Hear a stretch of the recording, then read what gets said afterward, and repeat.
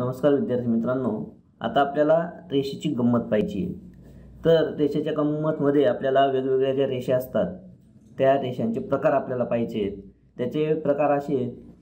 पहिला प्रकार आहे आडवी रेषा दुसरा प्रकार आहे उभी रेषा तिसरा प्रकार आहे तिरपी रेषा चौथा प्रकार आहे तुटक रेषा आणि पाचवा प्रकार आहे लयदार रेषा. तर आपण सुरुवातीला आडव्या रेषा काढूया. तर अशा पद्धतीने आडव्या रेषा आपल्याला तुम्हाला सगळ्यांना काढता येतात. तर याचा सराव पालकांनी विद्यार्थ्यांकडून करून घ्यायचा आहे. त्याच्यानंतर दुसरा जो प्रकार आहे तो आहे उभी रेषा. अशा पद्धतीने उभ्या रेषा विद्यार्थ्यांकडून काढून घ्यायच्या आहेत. त्याच्यानंतर तिसरा प्रकार आहे तिरप्या रेषा. तर तिरप्या रेषांचे दोन प्रकार आहेत. एक अशी एक तिरपी रेषा असते आणि दुसरी अशी उजवीकडून डावीकडे. तर अशा पद्धतीने या तिरप्या रेषा त्याच्यानंतर काही ज्या रेषा असतात त्या तुटक रेषा असतात. तुटक रेषा म्हणजे अशा पद्धतीने आपण तुटक रेषा सुद्धा विद्यार्थ्यांना काढायला लावायचे त्यांच्याकडून काढून घ्यायचे. तर पहिला प्रकार आडवी रेष उभी रेष तिरपी रेषचे दोन प्रकार त्याच्यानंतर तुटक रेषा आणि आता पुढचा जो भाग आहे तो म्हणजे लयदार रेषा. तर अशा पद्धतीने लयदार रेषासुद्धा आपण काढू शकतो समुद्राच्या लाटांसाठी त्याच्यानंतर काही ज्या रेषा असतात त्या छेदक रेषा असतात.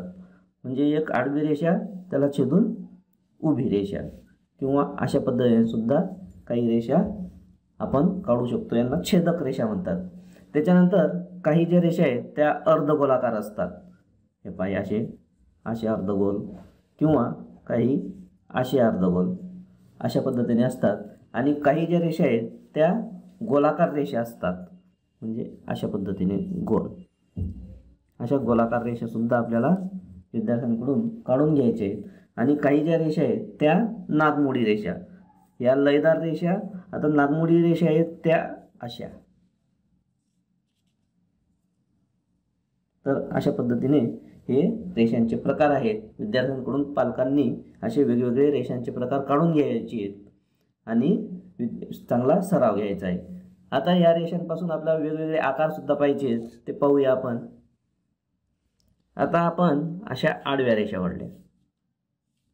आडव्या रेषा ओढल्यानंतर परत या ठिकाणी जर आपण अशा रेषा ओढल्या तर पहा तुम्ही हे भिंतीसारखा आकार या ठिकाणी तयार झालेला आहे.